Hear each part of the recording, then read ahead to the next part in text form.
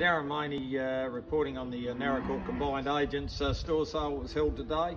Um, the uh, basically only a small yarding of uh, approximately eight, 800 cattle consisting mainly of heifers. This was due to uh, the combined agents splitting the sale a fortnight ago so we could sell steers and heifers today to have a smaller yarding to meet all the COVID-19 uh, regulations, which is all fair enough and has come together pretty well. Basically an exceptional demand today. We've seen most of the better heifers change hands from uh, 365 to $3.90 with exceptional pens of well-bred heifers and some of them with a bit of weight too making up to uh, $4 a kilo. So if you wanted to buy a top-notch heifer to join, you certainly needed $1,200 here at Naracoorte today.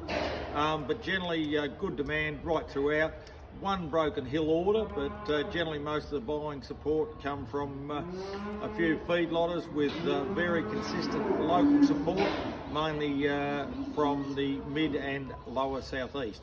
The uh, next Naracoorte Combined Agent Store sale will be uh, here on the 23rd of April. Thank you very much. Are you partnered with an RMA Network independent livestock and property agent?